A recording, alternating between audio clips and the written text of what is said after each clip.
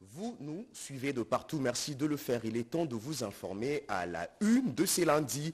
Goma dit oui au candidat numéro 20 à la présidentielle de 2023.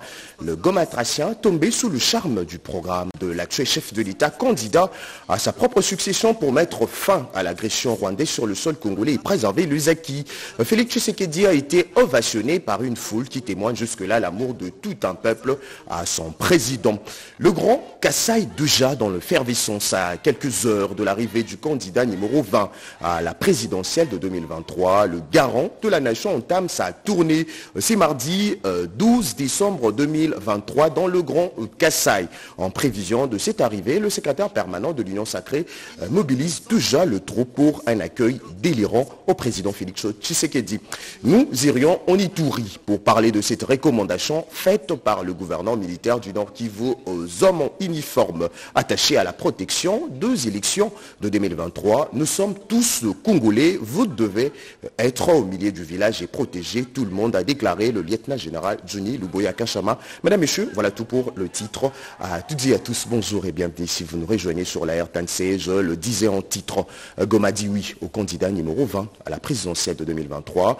Le Goma tracien tombé sous le charme du programme de l'actuel chef de l'État et candidat à sa propre succession pour mettre fin à l'agression rwandaise sur le sol congolais et aussi préserver les acquis. Félix Tshisekedi a été ovationné, oui, ovationné par une foule qui témoigne jusque-là l'amour de tout un peuple à son président. Suivez.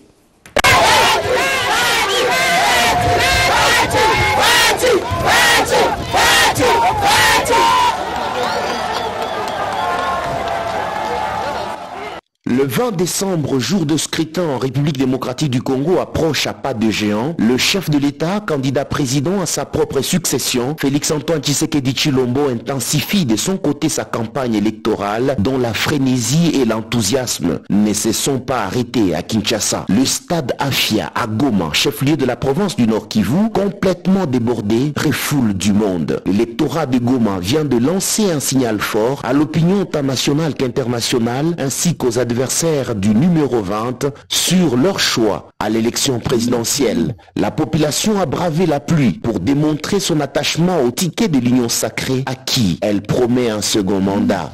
Sur le podium, Félix-Antoine Tshisekedi Chilombo, candidat numéro 20, soutenu par Denise Nyakeru Tshisekedi, première dame de la République, harangue la foule surexcité. Son message est clair, il a commencé la lutte contre Paul Kagame qui soutient le M23 et compte le neutraliser tous et libérer les Congolais victimes des de la guerre. Il a créé la réserve de la défense de l'armée où doit être tous les Ouazalendo pour défendre la patrie. Nous avons nommé les coordonnateurs de cette réserve de la défense. Il y a notamment le général Padiri, un fils du pays qui a montré son amour et son sens du sacrifice pour son pays. Le 20, j'ai besoin de vous voir qu'on continue le combat de libération de notre pays. Je vous promets que ce combat va continuer et nous allons débarrasser notre pays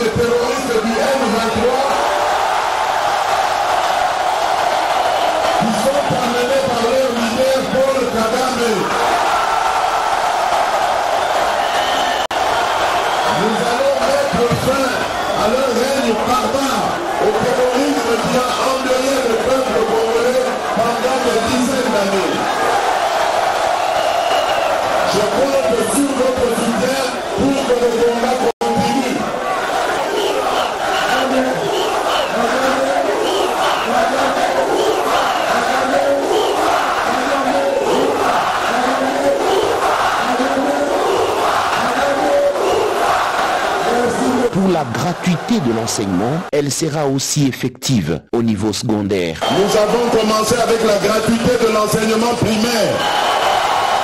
Au cours du deuxième mandat, je m'engage à apporter la gratuité au niveau du secondaire aussi.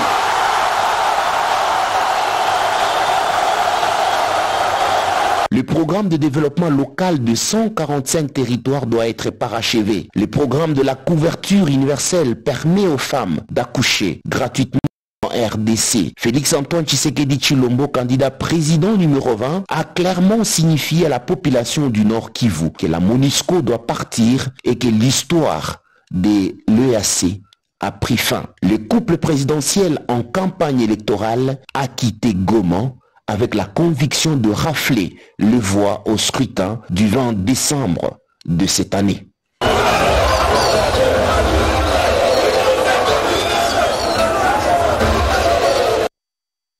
Restons toujours dans cette partie de la RDC. Le propos tenu candidat numéro 20 à la présidentielle de 2023 à Goma dans le Nord Kivu ont réjoui le cœur des habitants de cette province de la RDC venus écouter Félix Tshisekedi, candidat à sa propre succession. On écoute ces réactions prises par nos envoyés spéciaux Jacques Mégier et Olivier Makessé.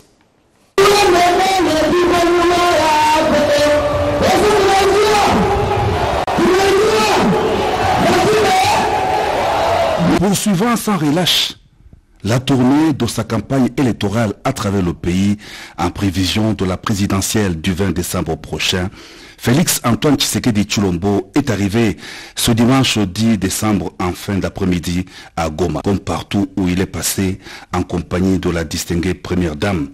C'est la joie, la fête. Sous une pluie battante, Goma s'est mobilisé pour communier avec le champion, le candidat numéro 20.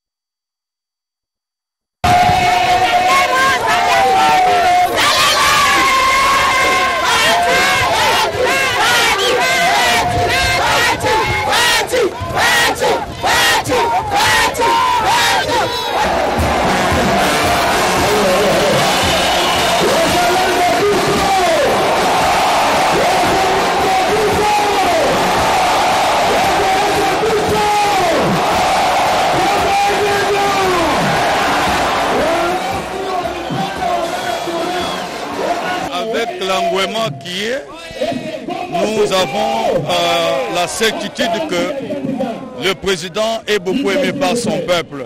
Il y a tellement l'engouement et le président est beaucoup aimé. Nous avons la certitude. C'est lui notre candidat. C'est lui l'espoir. C'est l'espoir de mettre fin à l'insécurité qui se vit ici à l'est de notre République. Puisque lui, à, lui nous voyons, à lui nous voyons la détermination de mettre fin à la guerre qui gangrène le développement socio-économique de la ville de Goma. Nous avons l'espoir qu'il va mettre fin à ça. C'est pourquoi nous devons lui faire confiance, lui donner encore, lui donner encore la deuxième chance d'être élu encore comme président de la République. En ce moment-là, il aura le temps de s'occuper sérieusement de la guerre qui se vit ici à l'est du Congo et y mettre aussi la fin. Mungu amubariki. Alishapita juu wamama mwenye anatuchaguliwa na wamama, maanake unajua ule mtu njo mwenye pouvoir. Fachi Beton c'est notre choix. Fachi Beton, il est tellement au-dessus. Nous l'aimons beaucoup qu'il finalise son mandat à travers ses actions, la gratuité. Il est le garant de la masculinité positive. Nous les femmes, nous souhaitons Fachi Beton parce que nous avons l'espoir d'être au sommet à la prise de décision.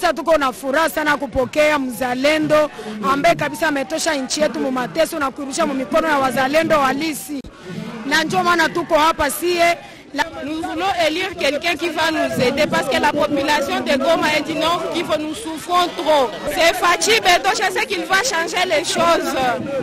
Pour nous, il n'y a pas match. Le président Tshisekedi est congolais et il est candidat de tous les Congolais. Et les Congolais vont voter les Congolais. C'est-à-dire pour nous, il n'y a pas match le 20 décembre. Le peuple congolais va voter pour le numéro 20. Le stade Afia de Goma était plein comme l'œuf. La population ayant décidé de braver la pluie diluvienne, c'est ici que les gomatraciens se sont fixés rendez-vous pour écouter leur candidat, le numéro 20. Tshisekedi, la solution à la guerre à répétition dans l'est de la RDC, scandait la population en liesse.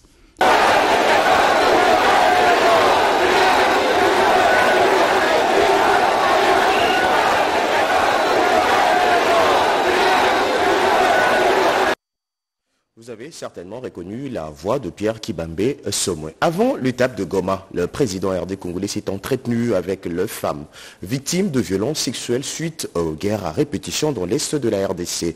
Au total, 120 femmes venues du nord Kivu et Sud Kivu ont échangé avec le garant de la nation qui les a promis tout son soutien. Reportage, euh, retour en image dans ces reportages de Patrick Moukouy. Plus jamais seul, trois mots qui désormais resteront gravés dans la mémoire de victimes et que l'histoire de la RDC retiendra. De sa plume, Félix Antoine Tshisekedi réaffirme son indéfectible attachement aux victimes de violences sexuelles liées au conflit et de crimes contre la paix et la sécurité de l'humanité. La cause était profondément noble que le candidat en campagne se devait de revêtir sa tunique de président de la République. Sa vision d'offrir réparation aux victimes force l'admiration et s'impose comme l'un des acquis majeurs que le candidat appelle à consolider. Nous avons créé ce fonds pour euh, qu'il vous apporte une éclaircie, une petite éclaircie dans votre vie assombrie par euh, ces moments horribles que vous avez vécus. Le fonds sera là, sera toujours là à vos côtés pour vous accompagner afin que vous puissiez reprendre goût à la vie, que vous puissiez vous servir de ce témoignage pour euh, parler aux jeunes générations et leur dire combien la République démocratique du Congo n'a pas besoin de ça, parce que c'est un arbre de paix et de bonheur, ce pays. Il est euh, euh, merveilleux et tout le monde, tous les Congolais y ont leur place. Des plaies qui se cicatrisent, des larmes qui s'essuient, un passé douloureux que l'on veut effacer. La mise en place du FONAREV, qui a connu un accompagnement sans faille de la distinguée première dame Denise Nyakiru Tshisekedi, est l'une des grandes réussites du premier mandat de Félix-Antoine Tshisekedi. Les victimes les savent mieux que quiconque. J'ai beaucoup, beaucoup, beaucoup apprécié la façon dont le président de la République nous a parlé, nous les victimes des violences sexuelles. Vraiment, nous sommes vraiment souriants. D'ici quelques matins, il y aura des réparations collectives pour toutes les victimes de violences sexuelles. Il nous a consolés, il nous promet hein, qu'il va rester auprès de nous tous les jours. Nous ne serons plus seuls. Cette rencontre a tout l'air d'un beau moqueur de victimes qui voit renaître de l'espoir en blanc sur un fond totalement noir.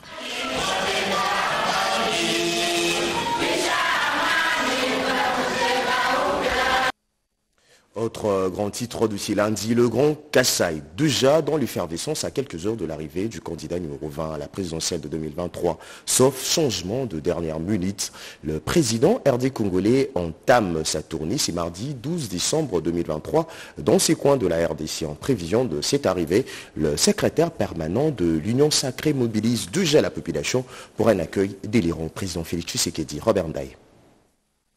Imminente descente du candidat numéro 20 dans l'espace Grand Kassai, précisément à Kananga, Mbujime Chikapa, Kabinde Mweneditu. Le secrétaire permanent de l'Union sacrée de la Nation, le professeur André Mbatabe Tokobe Somangou, est en tournée de sensibilisation pour accueillir le candidat numéro 20, Félix Antoine de Chilombo, qui foule les sols est kassaïens de ce 12 décembre 2023. À l'aéroport de Kananga, tous les partis politiques membres de l'Union sacrée sont tous présents pour accueillir le secrétaire permanent. Pour Marcel Tipepele, le Kassai central attend avec impatience l'arrivée de Félix Antoine de Chilombo. Pas de mystère, le 20 décembre, dans pratiquement 10 jours, Félix Antoine de Chilombo sera réélu président de la République pour un deuxième mandat, lâche le professeur André Mbatabe Tokoumé Soumangou devant une marée humaine. Le secrétaire permanent mobilise toute la population du Kassai central à accueillir leur fils et candidat à sa propre succession. Après Kananga, c'est à Dimbélengé que le secrétaire permanent est allé à messager du candidat numéro 20 et invite tout Dimbélengé à voter massivement Félix Antoine de Chilombo le 20 décembre car lui a un bilan à défendre. Dans un élan de patriotisme, André Mbatabe Toukoube Soumangou sollicite un vote massif pour préserver les acquis que de repartir à zéro. Avant de quitter Kinshasa pour Kananga, le secrétaire permanent de l'Union sacrée de la Nation a visité l'entreprise Audjoué qui fournit les motos pour les 182 circonscriptions électorales dans le cadre de la mobilisation pour la campagne du candidat numéro 20. Ces motos vont leur permettre euh, de circuler, de passer le message de notre candidat le message du progrès, le message de l'espoir. Et vous, comme vous le savez, c'est le candidat qui a le meilleur message. Nous apprêtons justement au sprint final qui va nous permettre de remporter euh, cette élection au la main. Dans son fief électoral à Kassinga, Jean-Michel Samalukonde a mobilisé la population autour de sa candidature aux législatives, celle du numéro 20 à la présidentielle de 2023. Un résumé de Janine Kalenga, Marcel Moubenga et bienvenue Loussala. À Kassenga, son fief électoral, Jean-Michel Samaloukonde Kenge est accueilli comme un prince. Le Premier ministre Jean-Michel Samaloukonde a fait carton plein à Kassenga Centre ce samedi 9 décembre 2023. La population de Kassenga, sa circonscription électorale, située dans la province du Haut-Katanga, est venue lui témoigner sa détermination de porter son choix sur les candidats numéro 20 à la présidentielle, 33 au national et 62 au provincial. Une foule indescriptible est spontanément venue communier avec lui. Cette descente était une occasion pour Samalou Kondé de susciter la confiance de ses frères et sœurs dans cette contrée où il a sensibilisé les siens sur leur vote massif aux élections du 20 décembre prochain. Ces nombreuses réalisations durables en faveur des habitants des Kassenga, notamment l'éclairage public et la construction des routes et des écoles en faveur de populations de ce territoire, réjouissent les bénéficiaires. Samalou Kondé s'est montré confiant quant à sa victoire écrasante et celle de son candidat numéro 20. L'arrivée de Samalou Kondé à Kassenga a drainé un raz des marées indescriptible. Ces populations ne jurent que sur leur fils de Kassenga, Jean-Michel Samalou Kondé Kienge. Mettons une pause avec de nouvelles liées à la campagne électorale pour parler administration publique. La liste de titularisation et la promotion en garade des agents publics a été transmise au premier citoyen de la République. Une procédure qui entre dans le cadre du processus de rajeunissement qualitatif et quantitatif de l'administration publique, annonce faite par le vice-premier ministre en charge de la fonction publique. On écoute Jean-Pierre Liaou, vice-premier ministre en charge de la fonction publique. À l'issue des travaux de la commission mise en place pour cette fin, et après une première vague de nominations, rappelez-vous des 10 060 agents lors de la première vague de titularisation, j'ai l'avantage aujourd'hui d'annoncer la transmission à son Excellence Monsieur le Président de la République, ainsi qu'au Premier ministre, chef du gouvernement, des projets d'actes de titularisation au titre de deuxième vague et de la promotion générale en grade au titre de première vague. S'agissant de la deuxième vague de titularisation, sur un total de 9 322 agents proposés par 46 services, le projet d'acte transmis concerne 6 583 agents validés des catégories A et B, répartis par grade comme suit. 310 directeurs, 1899 chefs de division, 4374 chefs de bureau.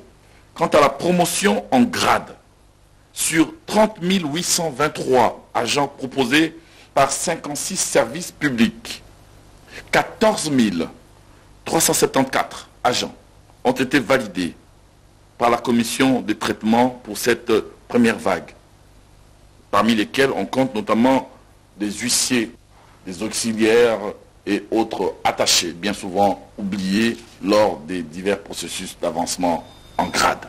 S'agissant de ces dernières catégories, avec l'autorisation du Premier ministre chef du gouvernement, j'ai signé l'arrêté portant leur promotion et avancement en grade.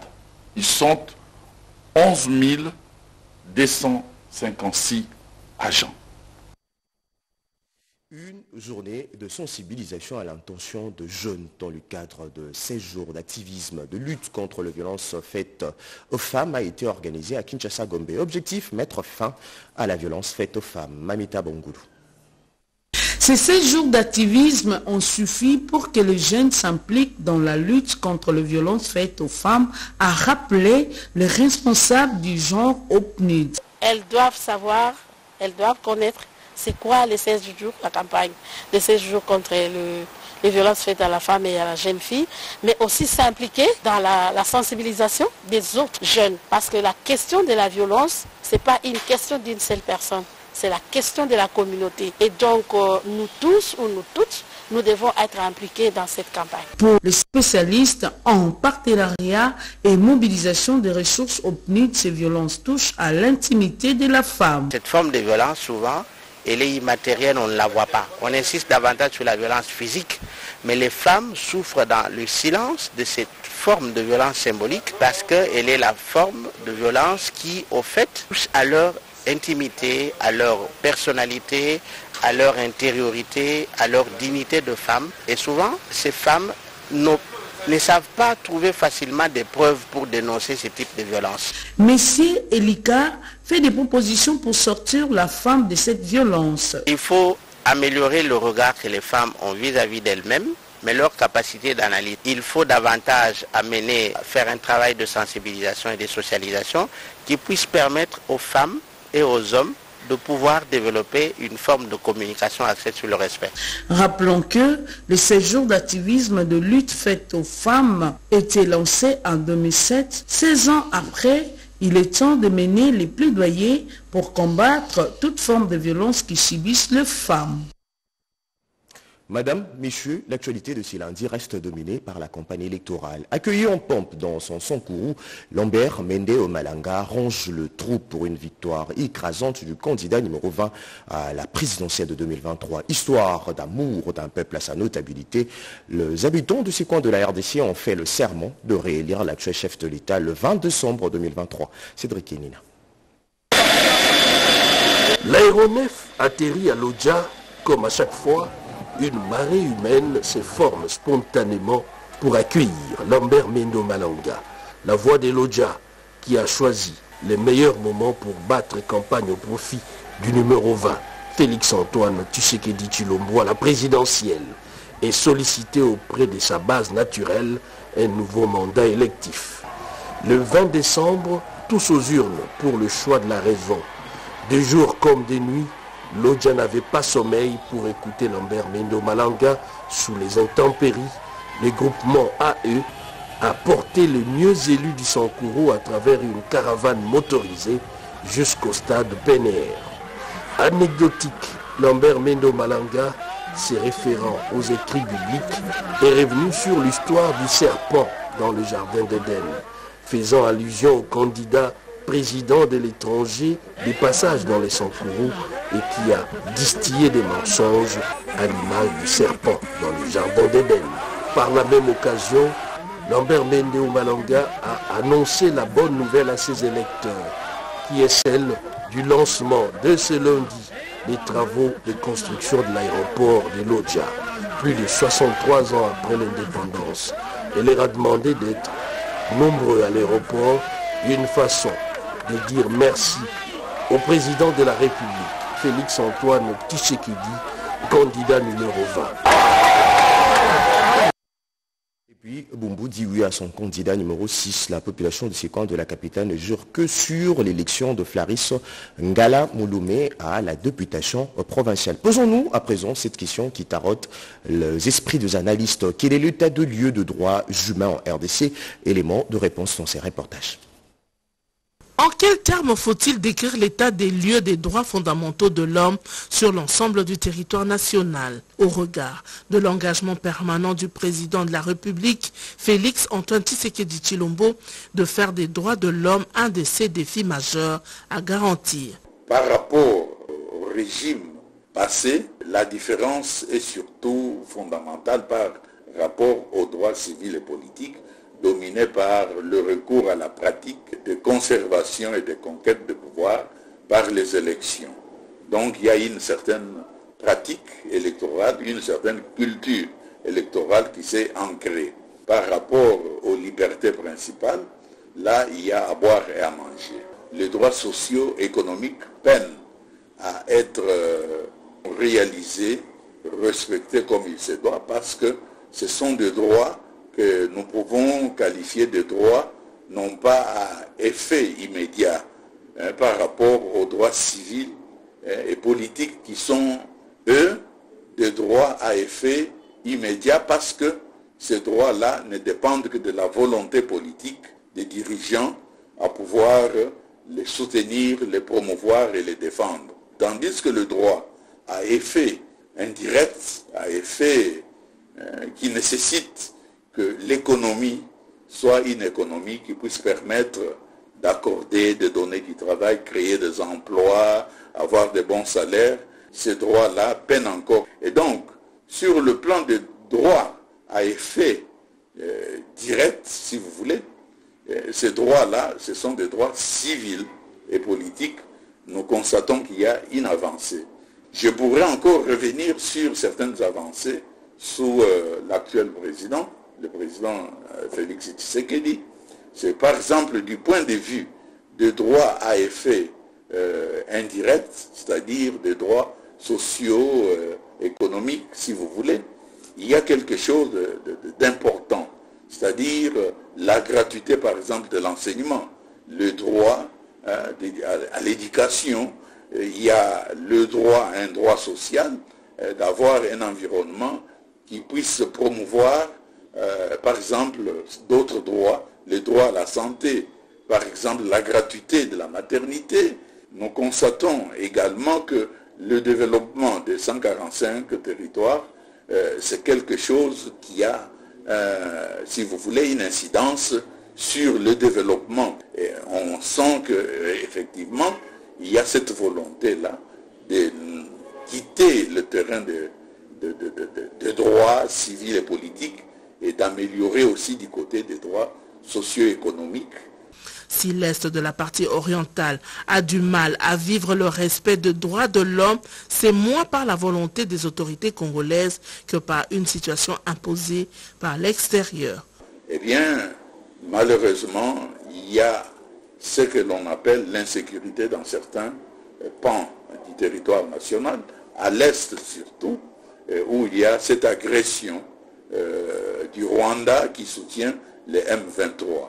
Et quand il y a un conflit, euh, donc cette invasion, cette insécurité, il y a euh, des violations de droits de l'homme commis par les groupes armés à un moment donné. Et donc nous ne pouvons pas dire que la situation de ce côté-là par rapport aux droits de l'homme est sereine et calme il faut espérer que là où les ratés peuvent encore s'observer, des dispositions seront prises en urgence pour apporter les corrections voulues et souhaitées. Plus rien ne peut désormais empêcher le train menant vers les élections générales en RDC d'arriver à la gare le 20 décembre 2023.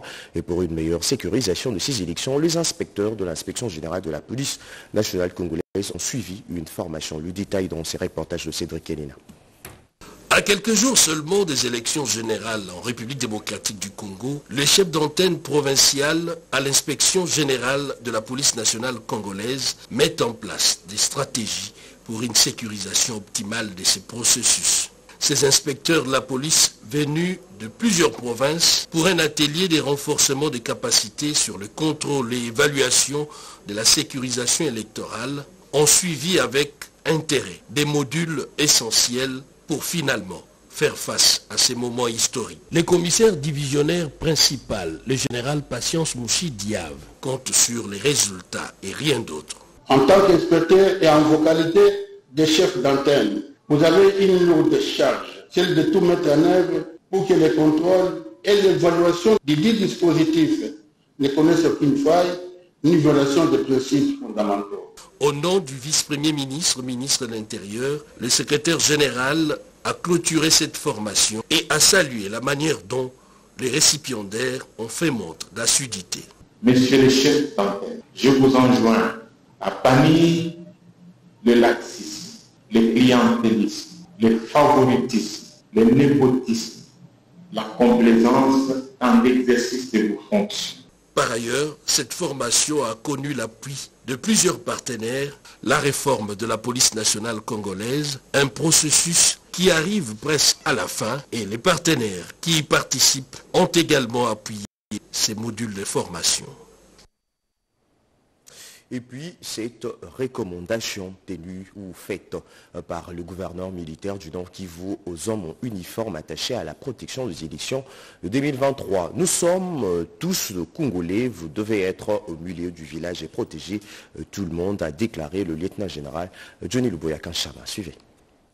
Pour palper du doigt cette réalité, le commandant des opérations, gouverneur militaire de l'Itourie, a effectué une mission d'évaluation de la situation sécuritaire dans la zone ce samedi 9 décembre 2023. Sur place, le lieutenant-général Louboyan Kachamadjoni a réanimé le moral de policiers déployés pour la protection des civils également dans la sécurisation des élections du 20 décembre 2023.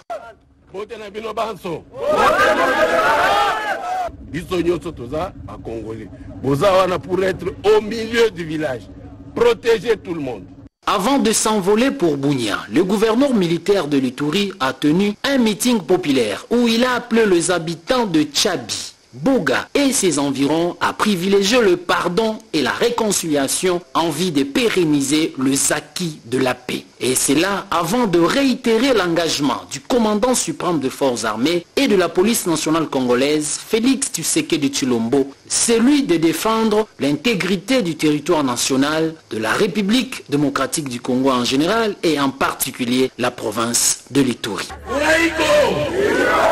Basoda mingi mingi mingi beko wanakuya hapa, watakuwa kuleta amani, watakuwa kumsekurize hapa. Mutaenda kwa mashamba yenu kimya, hakutakuwa mutu hata mboya atakuwa kuwaudhi hapa.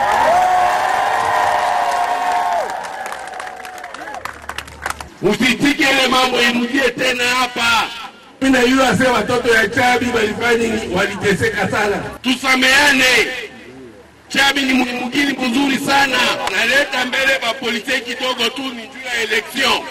Uraiko Ces messages du premier citoyen de la province a trouvé un écho favorable au sein de la population. avec euh, accompagnement ya bamilitaire na biso frdc mapingama ekolo mosala ma- malamu guverner aye kotika mpe bapolisier awa na tchabi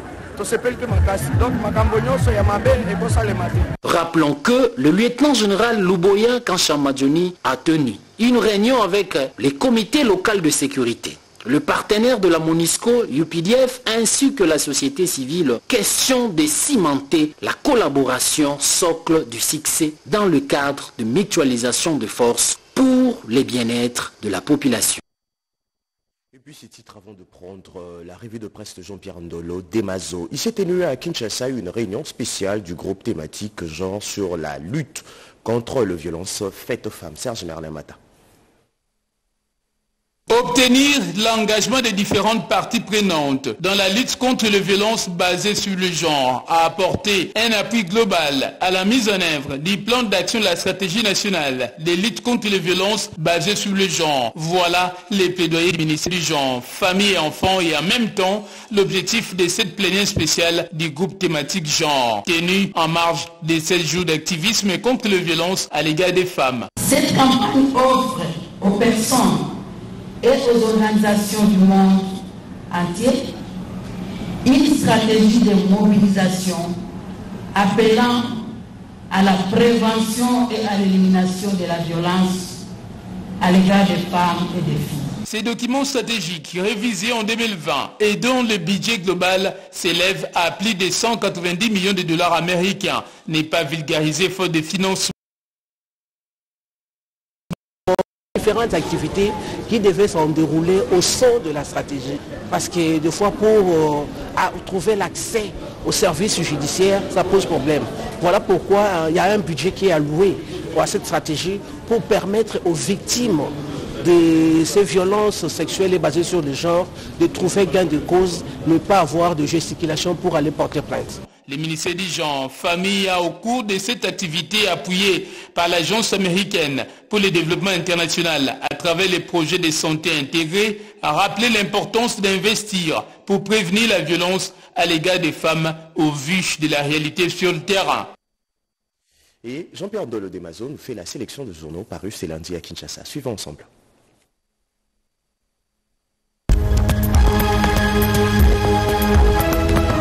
Bonjour et bienvenue à cette revue de presse. En attendant les avions et hélicoptères angolais, Sony, la casse-tête chinoise de Denis Kadima, titre Eco.